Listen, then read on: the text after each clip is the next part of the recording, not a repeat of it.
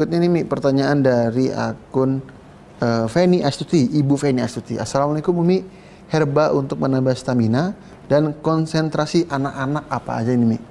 Silakan. Stamina dan konsentrasi. Baik. Tadi di awal Umi udah bedah produk.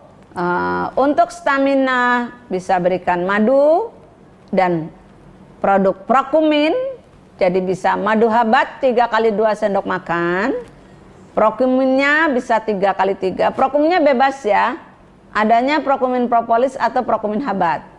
Kemudian setelah madu, prokumin jangan lupa EGM atau Dipsekua atau Gamat. 3 kali 2 atau kalau EGM 3 kali 1. Jadi hewaninya pilih boleh EGM, boleh Gamat, boleh dipsekua. Nanti sinerginya dengan yang ada habatus sauda. Boleh prokumin? Prokumin salah satu pilih boleh. Kalau misalnya mau kopi HC, tambahkan prokumin bagus banget. Nah, jangan lupa madu. Baik, lanjut. Oke, terima kasih. Ini ya jawabannya ya. Mudah-mudahan terjawab deh pertanyaan dari ibu tadi yang bertanya. Siapa lupa namanya saya ini? Oke, pertanyaan berikutnya nih Mi dari akun Yoga Ningrum. Ibu ya. atau bapak nih ya? Ibu Yoga, Ibu Yoga Ningrum mungkin ya. Umi, untuk flu selain vitamin C ada pada produk apa aja sih di HNI Mi? Saya kalau minum Rosella lambungnya agak perih. Oke, okay. ya baik. Bisa EGM diberi prokumin propolis 3 butir.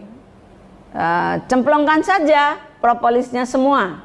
Boleh uh, minyak propolisnya aja boleh dengan gelnya.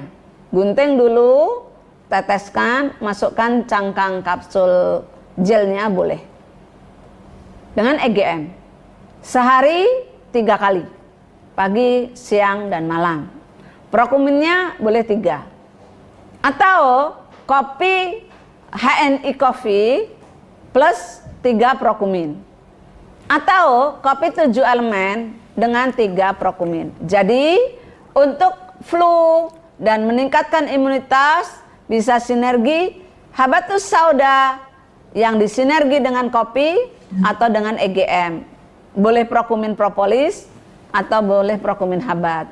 Kemudian jangan lupa madunya ya. Madunya harus dikonsumsi 3 kali 2 sendok makan. Boleh madu yang mana saja, multi, premis, sekarang namanya madu habat dan lain-lain. Jangan lupa gamatnya atau dipsekuannya. Baik.